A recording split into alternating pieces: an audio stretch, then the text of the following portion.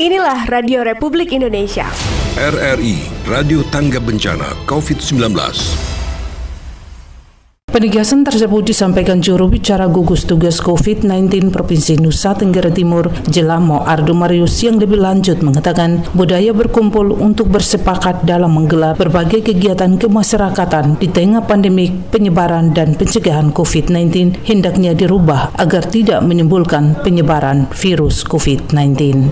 Dalam keterangan persnya di Kupang, juru bicara gugus tugas COVID-19 Provinsi Nusa Tenggara Timur, Jelamo Ardo Marius mengatakan budaya berkumpul dalam jumlah banyak sudah menjadi kebiasaan masyarakat sehingga sulit untuk dirubah. Namun hal penting yang dipahami adalah menjaga jarak agar tidak terkena virus dimaksud. Kayak budaya Indonesia ini kan budaya komunal ya, selalu mau bersama-sama, berbicara bersama-sama, kumpul sama-sama, arisan sama, pesta keluarga macam-macam. Itu budaya komunal ya. Tetapi yeah. sejalan dengan perkembangan, kita harus mengubah budaya ini ya tidak seharusnya budaya komunal ini dipertahankan dalam situasi seperti ini dan para pimpinan OPD di seluruh Nusa Tenggara Timur kita harapkan untuk bisa memantau dan ah, diharapkan akan mengurangi hal-hal yang tidak diinginkan.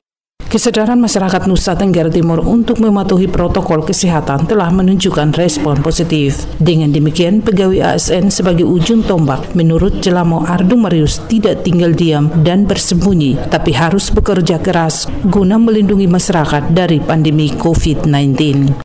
Kesadaran masyarakat umum Nusa Tenggara Timur kita harapkan untuk bisa mematuhi protokol kesehatan ya. Dan kita sebagai pemerintah, kami tidak bisa berdiam di barak terus. Kami harus bekerja melawannya dengan segala cara dan kami harus memperkuat semua kekuatan yang ada ya dalam rangka membangun Nusa Tenggara Timur. Tentu saja kekhawatiran masyarakat itu baik sekali dan kami selalu memantau dan tentu dari hari ke hari kami juga akan melakukan kontrol yang ketat untuk bisa mematuhi dan para pimpinan OPD sudah tahu bagaimana mengontrol para pegawainya di setiap kantor. Dukungan doa dari semua komponen masyarakat Nusa Tenggara Timur untuk tenaga medis terutama para dokter hendaknya terus dilakukan agar benar-benar terjaga dari virus corona. RRI Kupang Analopo melaporkan. Inilah Radio Republik Indonesia.